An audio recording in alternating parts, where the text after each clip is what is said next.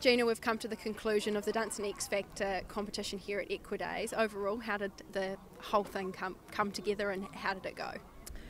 They were awesome. They were absolutely awesome. We had a couple of little hiccups yesterday.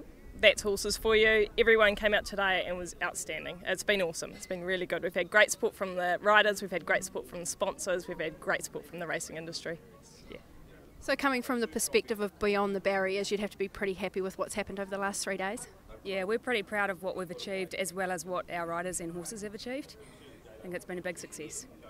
You mentioned some highs and lows uh, over the last three days, but what have been some of the performances that have really stood out?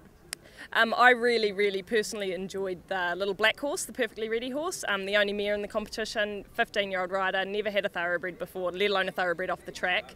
And to win the People's Choice, they were outstanding. Um, provided a good exhibition to show off the talent of these horses and what they actually can be useful for. A lot of things that people probably never would have even thought of were seen here this weekend. Gina, can you just talk us through the winners of all four classes over the last couple of days? Okay, on the first day we had the Trot Up Best Presented Conditioned, which was won by the O'Reilly Gelding My Kingdom. Um, he looked amazing. He's a really, really nice specimen of a horse. He's back from Hong Kong, uh, was trained in Cambridge, and um, he's now aimed for a showing career. And then we had the Fulton Out class that night, which was won by the Bachelor Duke gelding Rich and Unhitched, who was a reasonably talented horse on the track, um, and he jumped just over a metre 20 to take that class out.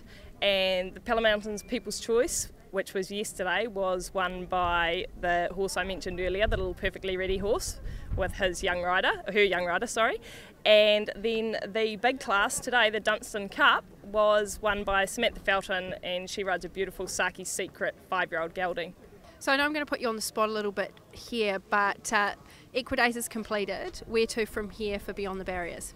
We've got some big plans in the pipeline. I suppose we just want to recover after this and get our heads together. But we really are keen to run a few clinics, which are especially for off the track thoroughbreds and their riders, to come and learn a bit more about them, um, do a few demonstrations, and that'll be our next port of call. But you'll see us out and about a lot more in the future.